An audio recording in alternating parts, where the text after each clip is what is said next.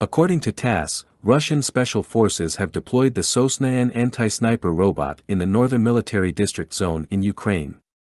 This deployment marks a milestone in the use of new technology in armed conflicts. We will explore the capabilities of the Sosna-N and examine its potential role in the ongoing conflict between Russia and Ukraine.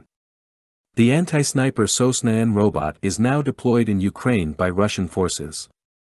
We had already discussed this robot on Army recognition on August 26, 2021, during its presentation at the Russian Army 2021 exhibition. The Sosna-N is equipped with a laser optical detection system that operates autonomously and can be remotely controlled. This system allows for 24-7 surveillance of the surrounding area, capable of detecting active optical devices such as sniper rifle scopes, binoculars, and anti-tank missile targeting systems. The system can operate at distances of up to 3,000 meters, giving it a considerable advantage over traditional detection systems. Additionally, its laser suppression range is 2,000 meters.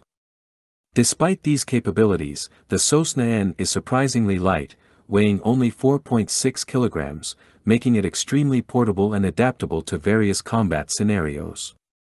The Sosna-N is capable of sounding an alarm and marking the location of the detected sniper.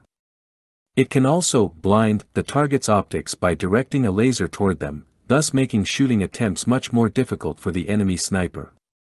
The Sosna-N is not just a military tool.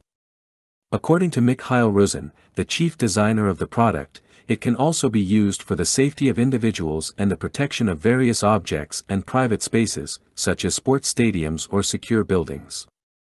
The deployment of the Sosna-N in Ukraine is particularly relevant given the effective use of snipers by Ukrainian forces. These snipers have been trained to target commanders and high-ranking officers, thus exploiting a vulnerability in the Russian command structure.